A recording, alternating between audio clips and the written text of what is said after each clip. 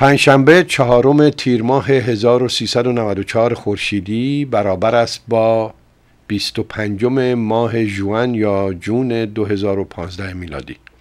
خانم ها آقایان هموطنان هم زبانان هر جای دنیا که هستید و به برنامه های ایران فردا تلویزیون ایران فردا توجه میفرمایید. سیمانه ترین درودهای من رو بپذیرید. و صدای نخراشیده من رو امروز میبخشید. سعی کردم علا رقم کسالاتی که دارم بیام و برنامه رو اجرا بکنم. این هوای متلاطم لس آنجلس و به طور کلی جنوب کالیفرنیا که یک باره درجه حرارت چندین درجه بالا پایین میشه و البته شاید آلودگی هوا که البته اصلا نمیشه راجع به آلودگی هوا این روزا صحبت کرد. اینجا شهری که آلودگیش واقعا یک مسئله عجیبی شده بود و هر روز رسانه های گروهی اعلام می‌کردن که افراد در ساعاتی از روز که ترافیک ازدهام ترافیک بیشتره بیرون نیان.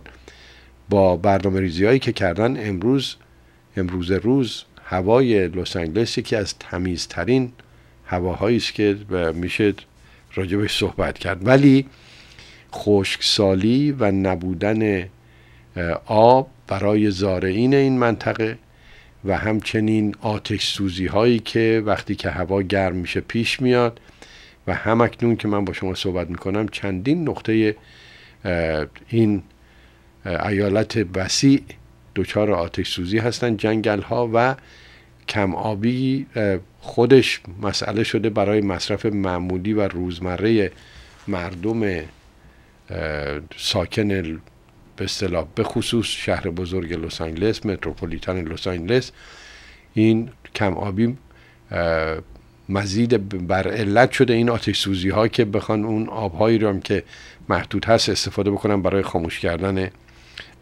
آبها که خود این یک مشکل بزرگی رو به وجود آورده برای ساکنین کالیفرنیای جنوبی. از لس آنجلس تا سان فرانسیسکو راهی بود که در این فصل سال زیباترین گلها زیباترین مزارع سبز خورم در مسیر این جاده هایی که چند جاده از اینجا میره به سان فرانسیسکو و شمال کالیفرنیا دیدنی بود و آدم لذت می برد در حال حاضر این زمین ها تبدیل شده به کویر برهوت و در واقع بیلبورد ها و بنر های خیلی بزرگی رو به صورت تابلو می‌بینید که قدم به قدم گذاشتن که شعارهای روش نوشته شده no water no work no, food. نبود آب باعث نبودن کار یا اشتغال و نبودن مواد غذایی که واقعیتی است. به حال ما با یک چنین شرایطی در جنوب کالیفرنیا روبرو هستیم و اون وقت در شرق امریکا سیل و ارز کنم که طوفان و غیره جان عده زیادی رو گرفته در تگزاس یکی از دوستان صمیمی من معجزه آسا از مرگ تونست بگریزه. یعنی شانس آورد ماشین بسیار قوی و به اصطلاح یو اس بی این ماشین های استیشنی که خیلی گردن کلفتم هست یک باره با یک شدت جریان باران معلق شد و این دوست ما تونسته بود با خوردن مقدار زیادی از اون آب و آلوده باران ها خودش رو بکشه بیرون از اتومبیل و نجات پیدا بکنه که هنوزم حالش زیاد مناسب نیست. و اما امروز مسائلی که مربوط میشه به این نامه اخیری که عدهای از دولتمردان سابق و امروز امریکا نوشتن به آقای اوباما. آقای اوباما رو برحضر کردن که مبادا که نکاتی رو که در موافقت نامه اولیه لوزان مطرح شده بود ندیده بگیرید و این اقداماتی رو که اونا قبول کرده جمهوری اسلامی یک وقت از زیرش بخواد شانه به بیرون بکنه. و بعد صحبت که آقای خمینه ای آقای خامنه ای کرده دیروز میبخشید. و در واقع خط قرمز ها این خط قرمز هم شده یک داستانی واقعا. خط قرمز ها رو ترسیم کردن و بعد این مسئله جنجالی که در داخل کشور ما میشنویم صحبت هایی که آقای نتانیاهو مطرح می‌کنه و خلاصه اینها باعث شده که اون خوشبینی که عده زیادی داشتن از تحلیلگران در مورد قطعی شدن و یا قطعی دانستن امضای این موافقت نامه داره یواش یواش مقداری سست میشه و معلوم نیست که واقعا با پایان مهلت توافق نامه به امضای نهایی برسد یا نه. ولی امکان ادامه گفتگوها و در واقع تمدید مهلت می رود هم آقای ظریف این صحبت رو کردن هم مقامات امریکایی این صحبت رو کردن. باید دید که کار به کجا می‌رسه. در امریکا مسئله تبعیض نژادی که عدهای معتقد بودن به کلی برطرف شده دوباره داره خودش رو نشون میده و یک جوان سفید پوست موبور که رفت به یک کلیسای سیاه پوست و نه نفر رو اونجا در واقع قتل به صورت قتل عام به قتل رسون و بین اینها یک سناتور سیاه پوست که بسیار انسان والایی بود وجود داشته. این جوان 21 ساله که خودش رو در واقع پیرو بسیاری از این تندروهای سفید پوست در امریکایی می‌دونه آمده و اعتراف کرده به اینکه رفته و این کار رو کرده و هیچ عبایی هم نداشته. الان دوباره ای که مسئله تبعیضات نژادی رو در امریکا همواره تعقیب کردن دارن در این مورد فعالیت می‌کنن. آقای اوباما هم از فرصت استفاده کرده موضوع رو راجبش صحبت می‌کنه و همچنین راجب آزادی بیبند و بار حمل اسلحه در امریکا که این هم موضوع دیگری است. اجازه بدید با توجه به کم بودن فرصتی که این برنامه داره برویم و بعد از یک شنیدن یک قدم موسیقی خیلی کوتاه بدون کلام صحبتمون رو با آقای مهندس حسن شریعت مداری به مهمان ارجمند برنامه امروز در آلمان شروع بکنیم. با ما باشید. بینندگان گرامی همونطور که در آغاز برنامه مجد دادم امروز با آقای مهندس حسن شریعت مداری هستیم در آلمان و تشکر می‌کنم از اینکه لطف می‌کنم مثل همیشه دعوت من رو پذیرفتن و امشب با ما خواهند بود. آقای مهندس سلام عرض می‌کنم خدمتتون. منم سلام دارم خدمت شما و درود و همه شنوندگان شما. آقای مهندس این روزها ما با یک شرایط عجیب و غریبی در مملکتمون روبرو هستیم. فرمایشات آقای خامنه ای که خط قرمز هاشون رو ترسیم کردن با تفاوت هایی نسبت به اون صحبت هایی که قبلا کرده بودن و با یک ترفند هایی که باید لابلای کلماتی رو که ایشون مطرح می‌کنن جستجو کرد و به نتیجه رسید که اگر بشه به نتیجه رسید نتیجه گرفت که منظور چیست.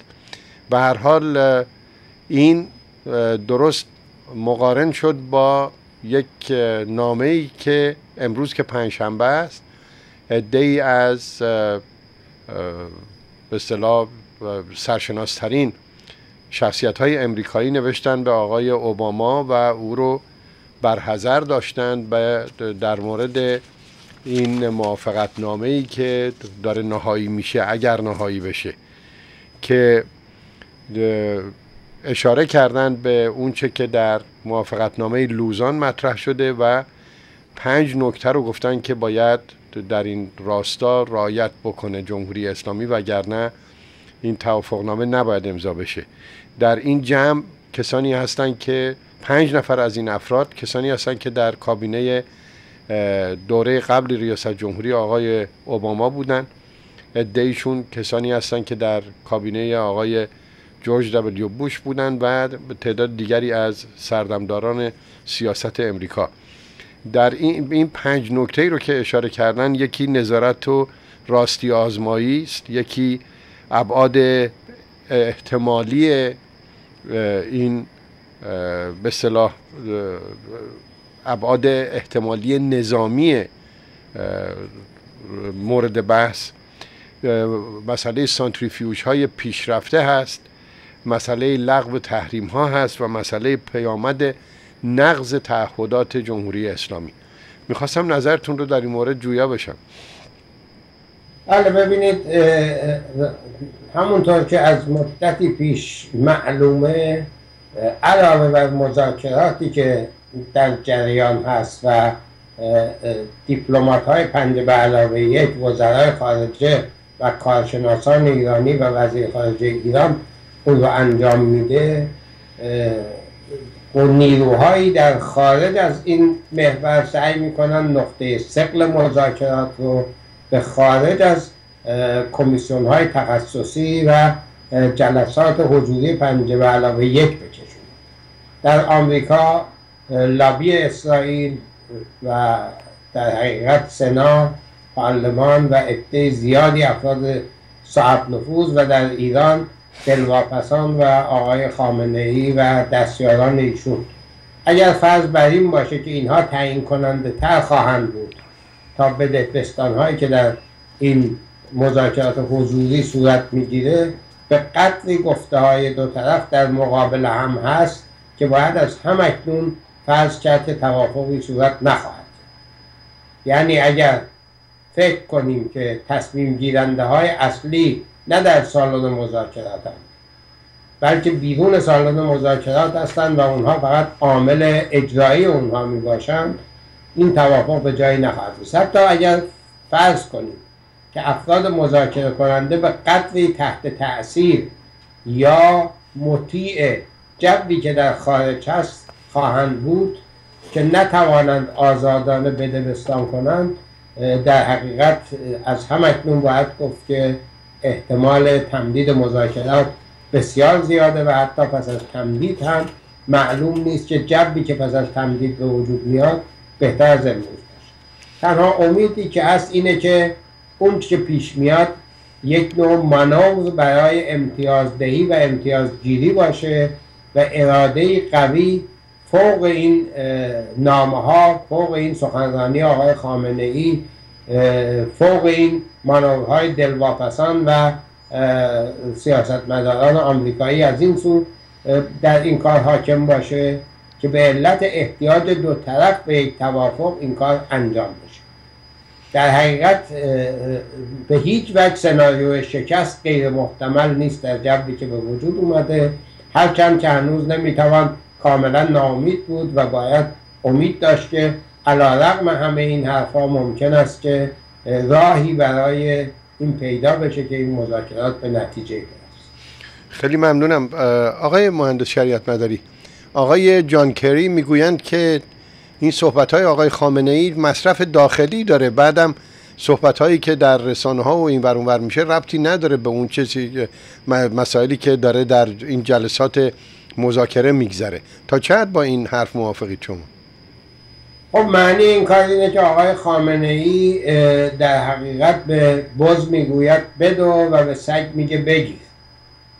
به آقای ظریف میگه برو مذاکره کن و به دلواپسان میگه که در مجلس لایحه ببرید. به شورای نگهبان میگه بلافاصله این قانون رو تصویب بکنید و دست دولت رو در پوست گردو می‌گذاره این که یک حدی می‌توان قبول کرد که چنینه ولی میشه این احتمال رو هم داد که ما به ازای حل این مسئله به دو دلیل برای ایران دیگر اون جاذبه قبلی رو نداره یکی اینه که پولی که بعد از این قضیه بلافاصله آزاد بشه و به درد اقتصاد ایران بخوره به قدری کم و ناچیزه که صرف نظر کردن از اون چندان مشکل نیست.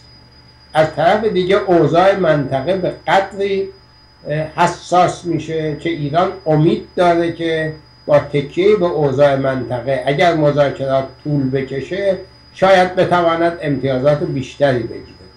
بنابراین به این دو دلیل شاید فقط حدس منه و بر مبنای اطلاعات نیست شاید آقای خامنه ای هم عجله نداره که آخر هفته آینده حتما این سند ممهور بشه و تمام بشه قضیه و قال قضیه کنده بشه.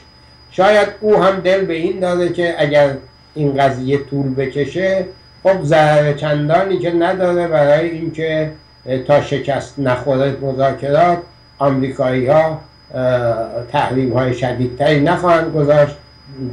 در حقیقت در به همین پاشنه میچرخه. ایران لنگ لنگان اداره میشه ولی اوضاع در منطقه به ضرر ایران نیست و ممکن است با تکیه به اهرام هایی که ایران در منطقه داره در آینده با توجه به احتیاج آمریکا به همکاری با ایران بشه امتیازات زیادتری گرفت. به همین دلیل ممکنه که چندان عجله ای در این نداشته باشه که آخر هفته آینده این قضیه تمام بشه و تمدید اون رو به نفع خودش بده. آقای شریعت مداری پس جناب معتقدید که در شرایط فعلی جمهوری اسلامی به خصوص آقای خامنه ای آنچنان مستاصل نیست به گونه ای که عده معتقدن که تن در بده به اینکه با شرایطی که به اصطلاح مطلوب نظر او و دلواپسان و این گروهایی که واقعا جالبه که این دلواپسی به خاطر چی هست. حالا برای اینکه این دلواپسان تنها دلواپسی که ندارن راجع به تمامیت و شرایط داخلی کشور هست. به هر حال پس معتقدید که این استیصال الان وجود نداره که واقعا اینا بخوان عجله بکنن برای امضای یک چنین موافقت نامه اینطوره؟ یعنی استیصال خود کننده ای در وضع موجود که مسئله روز روزانه باشه برای حکومت وجود نداره. البته در میان مدت تحمل همین سطح از تحریم ها هم غیر ممکنه. و این رو آقای خامنه ای و دلواپسان و گروه های وابستهشون می‌دونن. اما اگر اینطوری محاسبه کنن که اگر ما این قرارداد رو امضا کنیم بس خیلی بهتر نخواهد شد. ولی اگر امضا نکنیم و به قول خودشون اقتصاد مقاومتیمون رو ادامه بدیم اوضاع منطقه در جهتی است که ما های جدیدی برای امتیازگیری پیدا خواهیم کرد و بنابراین بهتره که چانه زنی رو ادامه بدیم و در حقیقت طول بدیم قضیه رو. به خصوص که آقای اوباما هرچه به انتهای دوره ریاست جمهوریش نزدیک بشه تعبیر آقای خامنه ای در سخنرانیش سراحتا این بود که آمریکا به این موفقیت احتیاج داره و او بر روی این حساب می‌کنه که آقای اوباما در حقیقت منظورش از آمریکا آقای اوباماست در آخر دوره ریاست جمهوری شدیدا به این پیروزی تاریخی احتیاج خواهد داشت. خب بینندگان گرامی این تلفن های همراه در کارهای ما یه مقداری گاهی اخلال می‌کنه ولی خب این وسیله است که این روزا هممون بهش احتیاج داریم و وابستگی پیدا کردیم و چاره هم نیست. یعنی دیگه شما هر کسی رو که می‌بینید یک دونه از این تلفن ها دستشو توی خیابون و توی مجامع عمومی و غیر زالک مشغول ارز کنم حضورتون که نگاه کردن پیغام فرستادن پیامک فرستادن و پیغام گرفتن و این گونه مسائل است. آقای مهندس شریعت مداری آقای خامنه ای اشاره کردن به یک فرد معتبری که واسطه شدن آمدن در واقع به گونه ای مطرح کردن که آقای اوباما التماس گونه خواستن ازشون که بیان و مشکلات بین ایران و امریکا رو حل بکنن. و گفته میشه که منظور ایشون سلطان قابوس است. می‌خواستم نظرتون رو راجع به این گفته ایشون جویا بشم و بعد هم سوالات دیگه ای که دارم در زمینه همین صحبت هایی که ایشون کردن.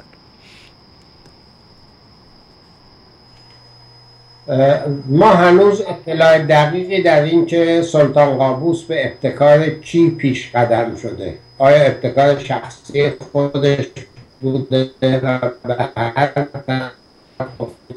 اون یکی از مشتاقین گفتگوست یا اینکه یکی از طرفین پیش قدم شدن نداد ولی واقعیت اینه که آقای خامنه ای در دوره آقای احمدی نژاد آقای ولایتی رو سرپرست هیئتی کرده که این مذاکرات رو شروع کرد.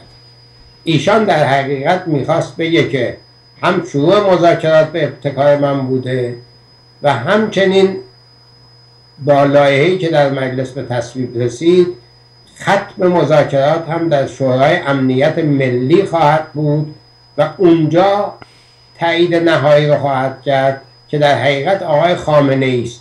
بنابراین می‌گفت که در حقیقت می‌خواست بگه که آقای روحانی عامل اجرای منبیات من بوده و دولت ایشون در حقیقت اون چرا مذاکره می‌کرده که من نقشه کشیده بودم. می‌خواد که اگر توافقی حاصل شد و افتخاری نصیب شد این افتخار به حساب آقای روحانی و به خصوص به حساب انتخاباتی ایشون واریز نشه و معلوم بشه برای تک تک مردم ایران که این افتخار اگر افتخاری است به حساب ایشون باید واریز بشه و همچنین ایشان چنون دو لبه صحبت می‌کنه و چنون همواره جنبه های منفی قضیه هم بزرگ می‌کنه که اگر افتخاری هم نبود و شکستی هم نصیب ایران شد آنگاه بگوید که من با اون مخالف بودم و این دولت بود که فشار می آورد و نمیگذاشت که حرفایی که من می‌زنم درست پیش بره. ایشون روی دو تا صندلی نشسته و هنوز تصمیم نگرفته که کدوم یک رو تصاحب کنه. اینکه ابتدای مذاکرات با ابتکار چه کسی بوده و چه گونه شروع شده در پرده ای از ابهامه و هنوز ما نمی‌دونیم. خیلی ممنونم. آقای شریعت مداری این تک ماده ای که در مجلس در واقع به تصویب رسید. به نظرتون یه چیز خیلی مزهکی نیست که با شداد و غلاز در قسمت اولش راجع به همین موافقت نامه که باید به تصویب مجلس برسد و چنین و چنان و بعد ماده سومش می‌گوید که ولی نهایتا اگر که رهبر معظم جمهوری اسلامی تصمیم بگیرن و هر جوری که ایشون بخوان ما عمل خواهیم کرد این, این معنیش چیست؟ اصلا دلیل مطرح کردن یک چنین موضوعی در مجلس و این رأیگیری و این نمایش چیه؟ آیا این رو یه نمایش نمی‌بینید و نتایجی رو که می‌خوان بگیرن ازش این رو نمیشه واقعا به حساب مصرف داخلی گذاشت؟ والا اون که مربوط به ایرانه با وجود اینکه یک تقلیدی از چیزی است که در سنای آمریکا حتی, حتی طرح تصویبش ولی همه می‌دانن که با یک حکم حکومتی حتی اگر قانون خیلی قلاز و شدادی هم بود آقای خامنه ای می‌تونست اون رو به یک طرف بگذاره. در استبدادی مثل ایران ماده واحده و تصویب مجلس و همه اینها اون هم به وسیله کسانی که نماینده مردم نیستند همیشه تحت تاثیر یک حکم حکومتی است و یک حکم حکومتی اونها رو می‌تونه به کنار بزنه و تصمیمی از بالای سر اونها بگیره. بنابراین من فکر نمی کنم که سیاستمداران آمریکایی خیلی دلواپس این ماده واحده و تصویب مجلس بوده باشند و دولت آقای روحانی هم فکر نمی کنم که خیلی دلواپس این قضیه باشه. بیشتر اون که همه رو نگران کرده مواضع اخیر آقای خامنه است که همه فکر می‌کردند این اواخر ممکنه در هفته آخر سکوت کنه. ولی با اطلاعاتی که حتما ایشون داشت از نامه ای که در آمریکا تنظیم خواهد شد پیش دستی کرد و خواست که در حقیقت سنگ اول رو او بندازه و این کار رو او شروع کرد و این نامه سیاست مداران آمریکایی یک دو روز بعدش در حقیقت منتشر شد. خیلی متشکرم. در ضمن صحبتاشون آقای خامنه ای به نعل و به میخ زدن هاشون دیگه واضح هست که همواره بوده و هست. همونطور که اشاره کردید روی دو تا صندلی نشستن ایشون. در مورد پشتیبانی و حمایت از گروه مذاکره کننده که اونها رو افرادی بسیار معتقد و بسیار صادق و بسیار قابل اعتماد و ملی در واقع تعریف کردن این با اون صحبت هایی که ایشون کرد سایر صحبت هاشون خانایی نداره اینطوره؟ بله ایشون از حالا علاوه بر اون که خیلی وقتها به دولت هم اشاره و کنایه هایی داشت. مخصوصا اگر توجه کنیم که قبل از این سخنرانی آقای روحانی سخنرانی کرده بود و در جهت سیاست های دولت در جهتی کاملا متناقض صحبت کرده بنابراین این که انسان تیم مذاکره کننده رو افرادی امین بدونه ولی حرفهایی بزنه که در حقیقت با مذاکرات اونها در تناقضه در حقیقت می‌گوید که اونها عامل دست من هستند و اگر زیاده روی هایی هم کردن بعدا جبران خواهم کرد. چون افراد صادق و امینی هستند و فقط حرفهای من رو اطاعت می‌کنن و اختیارات دیگه ای ندارن. البته این به مقدار واقعیته و متاسفانه واقعیته. برای اینکه وقتی شما ادعی را برای مذاکره میفرستید اگر دست بازی نداشته باشند و کت اونها رو بسته باشید خب مذاکره در فضای بسیار سختی انجام میشه و اغلب هم به نتیجه نمی‌رسه. ایشون به هر صورت می‌خواهند به کودنترین افراد در ایران هم حالی کنند که ابتکار عمل دست منه و مبادا فکر کنید که دولت آقای روحانی کاری است و این افراد که مذاکره می‌کنند از خودشون اختیار دارند. هرچند افراد امینی هستند ولی چون امانت دارند حرفهای من رو منتقل خواهند کرد و بر سبیلی که من ترسیم کردم در حقیقت حرکت خواهند کرد. ایشون چندین جا می‌گوید من به شدت مخالفم و به نمی‌گذارم. ولی در عین حال بعد از اینکه به شدت مخالفت می‌کنه یه راه گریزی هم در جمله بعدی می‌گذاره.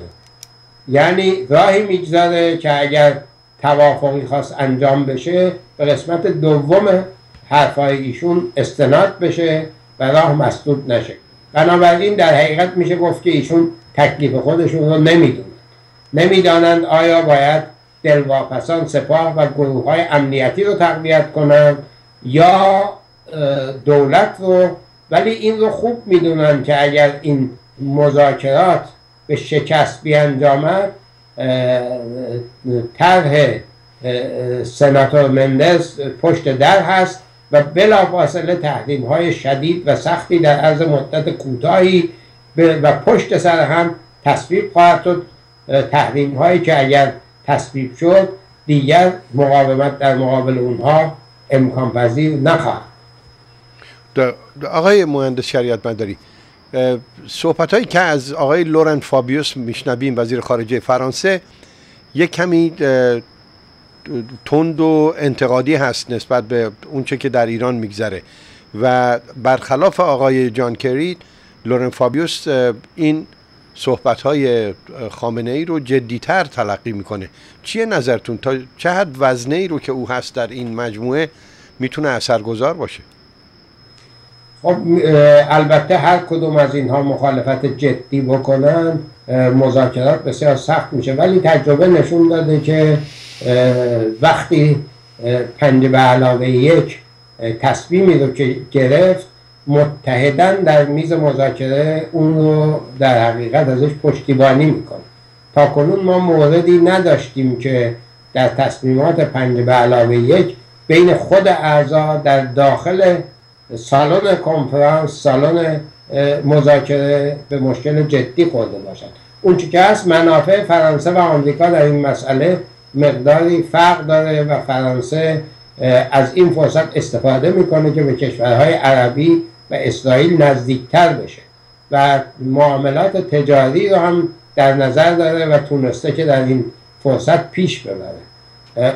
در حقیقت اسرائیل و عربستان سعودی هم می‌خواهند از این احتیاط فرانسه استفاده کنند و اون رو بیشتر تشویق کنند که خط سختتری رو نسبت به گروه آقای اوباما در مذاکرات پیش ببره اما من فکر می‌کنم علیرغم همه اینها یک توافق عمومی بین اروپا و آمریکا وجود داره و اون این هست که در چارچوب عدم دسترسی ایران به سلاح ای نرمش و انعطاف کافی داشته باشند. ولی اونجایی که پای ریسک به وجود بیاد و واقعا ایران بتواند از درس هایی در مذاکرات سوء استفاده بکنه و به سلاح اتمی دست پیدا بکنه. من فکر می‌کنم آقای کری هم همان صحبت های آقای فابیوس رو خواهد زد و در این مسئله فرقی نخواهد.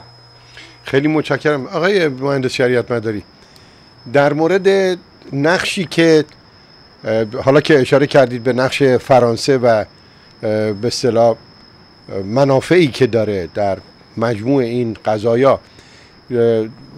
می‌خواستم ازتون خواهش کنم که یک توضیح هم راجع به نقش روسیه بدید در این مجموعه. بله ببینید روسیه به دو دلیل همواره پشتیبان ایران هست ولی در حدی که ریسک دستیابی ایران به سلاح اتمی جدی نشد. این دو دلیل یکی این است که ایران رو در حقیقت حیات خلوتی می‌داند که هنوز ناتو در اون نفوذ نکرده. شما می‌دونید که ناتو سلاحهای خودش رو در کشورهای اروپایی هممرز با روسیه مستقر داره می‌کنه و تنها مرز طولانی که ناتو بهش دسترسی مستقیم و غیر مستقیم نداره این بیش از 900 خورده کیلومتر. مرز مشترک ایران و جمهوری های روسیه است که برای روسیه بسیار جمهوری های باقمانده از اتحاد جماهیر شوروی هست که برای روسیه بسیار مقتنم وجود یک چنین فضایی که ناتو در اون نفوذ نکنه. از طرف دیگه ایران یک متحد استراتژیک تا حالا برای روسیه بوده و هرچه این مذاکرات بیشتر طول بکشه این اتحاد استراتژیک هم طول بیشتری خواهد داشت. برای اینکه برای روسیه واضح است که بعد از امضای این قرارداد این احتمال هم پیدا میشه که ایران به تدریج از روسیه دور بشه و به آمریکا نزدیکتر بشه و یک حالت بیطرفی در این بین بگیره. و این چیزی است که برای سیاست خارجی روسیه هزینه زاست به علت موقعیت حساس ایران. بنابراین از یک طرف روسیه به هیچ وجه می‌خواد که در همسایگی خودش یک قدرت اتمی داشته باشه یک قدرت اتمی مانند ایران رو داشته باشه. از طرف دیگر علاقمند نیست که به این زودی ها این مذاکرات به جایی برسه و در حقیقت قرارداد منعقد بشه. او هم مثل آقای خامنه ای به طول مذاکرات بیشتر علاقه داره ولی به شکست مذاکرات علاقمند نیست. متشکرم. آقای شریعت مداری. آقای سفروف که یکی از به اصطلاح سخنگویان آقای پوتین هست و به فارسی مسلط است می‌گوید که ایرانی که با امریکا نزدیک بشه و اختلافاتش از بین بره خطرناکتر از بمب اتمی است که ایران ممکنه بسازه. چیه نظرتون راجع به این؟ من فکر می‌کنم ایشون کمی اقراق‌آمیز نسبت به سیاست روسیه اینو میگه. در حقیقت می‌خواد همین مسئله رو که من عرض کردم به زبان دیگه بگه. از یک طرف ایران اتمی برای روسیه قابل تحمل نیست از یک طرف ایرانی که متحد آمریکا بشه. حتی اکثر یک ایران بیطرف در آینده می‌تواند با همان سیاست موازنه منفی که مرحوم مصدق داشت بله. این اختلاف منافع رو به صورت راهبردی مدیریت بکنه وگرنه به هر صورت ایران باید منتظر چالش از هر دو سو باشه برای اینکه این رقابت بین روسیه و کشورهای غربی داره به مراحلی می‌رسه که شروع جنگ سرد جدید هرچند گفتن جنگ سرد مقداری مبالغه آمیزه برای اینکه شاید روسیه در شرایط اون موقع نیست. ولی واقعا حالت تخاصمی که بین پوتین و کشورهای غربی وجود داره با وجود اینکه ایدئولوژیک نیست داره به چنین مراحل خطرناکی می‌رسه. آقای مهندس تا چه حد حرفهای آقای خامنه ای فکر می‌کنید که قوت و قدرت بیشتری بده به آقای نتانیاهو با این به صلاح روشی که پیش گرفته که از هیچ فرصتی هیچ فرصتی دریغ نمی‌کنه که بیاد و بر علیه ایران و به صلاح اتمی شدن ایران مسلح شدن ایران به بمب اتم صحبت بکنه و هر فرصتی که پیدا می‌کنه چه در داخل اسرائیل و چه در خارج. تا چه حد این آب میریزه به آسیاب صحبت های خامنه ای آب میریزه به آسیاب ایشون. من فکر می‌کنم که استدلالات آقای نتانیاهو رو همه می‌شناسن ولی قسمت مخرب صحبت های آقای خامنه ای در اینه که بسیاری از دموکرات هایی رو که تا حالا دو دل بودن یا جمهوری خواهانی رو که یک رعال پلیتیک واقع گرایانه بیشتری رو در پیش گرفته بودن به سمت رادیکال تر شدن سوق خواهد داد. و اونها رو بیشتر تحت تاثیر صحبت های آقای نتانیاهو قرار خواهد داد.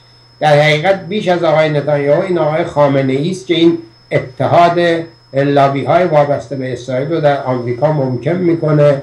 ایشان شاید فکر کنه که با این کارش داره جواب قاطعی میده یا کمک می‌کنه به تیم مذاکره کننده که قدرت چانه زنی بالاتری داشته باشند ولی شاید از این اثر گفتهاش قافله که در سنای آمریکا این نقش مخرب باعث خواهد شد که همه قطنامه های بعدی هم با اکثریت قریب به اتفاق آرا تصویب خواهد شد و سنا هیچ دقدقه ای برای تصویب مصوبه های آیندهش با این لحن ایشون و با این برخورد ایشون نخواهد داشت و می‌دانیم که در آمریکا یک حکم حکومتی وجود نداره و باید مصوبه های سنا رو جدی نمی‌توان مانند ماده واحده مجلس ایران اون رو به شوخی گرفت و اینطور تصور کرد که آقای اوباما هر کاری خواست می‌کنه علا رقم این مصوبه ها و اراده خود رو پیش می‌بره. آقای اوباما منتخب دموکراتیک یک نظام مبتنی بر دموکراسی است اختیاراتش محدود هست و سنا دست و پای اون رو می‌تونه ببنده و با هر کدوم از اون مصوبه ها ارسل بر او تنگتر کنه و آقای خامنه ای با این در حقیقت ندانم کاری های خودش داره این مسیر رو هموار خیلی متشکرم. ببخشید. آقای مهندس شریعت مداری یه مقداری بریم بپردازیم به شرایطی که در داخل کشورمون این روزا حکم فرماست رژیم علا رقم صحبت های شیرینی که آقای شریعت مداری آقای روحانی کردن در مورد آزادی مطبوعات و هنرمندان و غیر و به هنگام مبارزات انتخاباتیشون و حتی بعد از روی کار آمدن در واقع تبدیل شده به یک شیر بیال و دم اشکمی که هر حرفی که می‌زنه عملا گروهی هستن که یه عده اونها رو خودسر به حساب میارن یه عده می‌گویند که در واقع اینا کسانی هستند که در داخل رژیم اگر که بخوایم طبقه بندی بکنیم همونطور که گفتید حکومت اینها رو بسیج می‌کنه و میفرسته. به هم زدن سخنرانی ها کتک زدن سخنرانان حتی نمایندگان مجلس. ارز کنم حضورتون که لغو کردن کنسرت هایی که از طرف اون نهاد مسئول تصویب شده اجازه گرفته تمام اینا مسائلی است که داره میگذره و بسیاری از مزایقی که روز به روز بیشتر و بیشتر روی مردم ما داره تحمیل میشه. این چه داره میگذره در این زمینه ها من فکر می‌کنم که هرچه به انتخابات نزدیکتر بشیم این تنش ها بیشتر خواهد شد و عمده قضیه در این هستش که این نقش تدارکاتچی بودن یک رئیس جمهور اگر بخواهد در محدوده قوانین موجود و تعادل قوای داخل حکومت رفتار بکنه هر روز بر مردم واضحتر میشه. یا باید رئیس جمهوری باشه مثل احمدی نژاد که هیچ ملاکی نداشته باشه و هر کاری دلش می‌خواد بکنه و مملکت رو به هر سو که می‌خواد بکشونه حتی پنجه به روی رهبری جمهوری اسلامی در مواقعی بکشه. و یا اگر انسانی بود که خواست قوانین موجود رو رعایت بکنه و در داخل تعادل موجود حکومتی عمل بکنه اختیاراتش بسیار محدود. البته اگر ما رئیس جمهوری داشتیم که در عین همه این حرفا جرأت رجوع به مردم داشت و مردم را تشویق می‌کرد تا از او پشتیبانی کنند خب تعادل قوا به هم می‌خورد به زودی هم به هم می‌خورد. ولی چنین رئیس جمهوری در سر کار نیست برای اینکه از عاقبت کار میترسه میترسه مثل بنیست بشه. بنیست نمونه واضحی است از رئیس جمهوری که خواست به مردم مراجعه کنه و کنار گذاشته بنابراین آقای روحانی چون از درون یک شبکه امنیتی داخل این نظام آمده خوب می‌داند که بر سر او چه خواهد آمد اگر بخواهد که رجوع مستقیم به مردم بکنه. به هر صورت این ریسک رو نخواهد کرد. سابقه تا کنونیش نشون میده که اهل این حرفا نیست. و در داخل حکومت هم تعادل قوا به نفع اون نیست. شما در استیزاها در رأیگیری های داخل مجلس افرادی رو که به جناح دولت وابستن تعدادشون رو می‌توانید بشمرید. اونها حتی یک سوم نمایندگان مجلس نیستند. این مجلس از تسخیر سپاه و نیروهای امنیتی است و, بنا و البته در تسخیر آقای لاریجانی و فرکسیون پیروان ولایت که گوش به فرمان ایشون هستند و ایشون هم گوش به فرمان آقای خامنه است. بنابراین آقای روحانی در تعادل موجود درون حکومت شانسی برای ارزندام نداره. ایشون امیدش این بود که بتواند این مسببه اتمی را به سرانجامی برسونه مذاکرات به جایی برسه که تبدیل به یک توافق نامه بشه.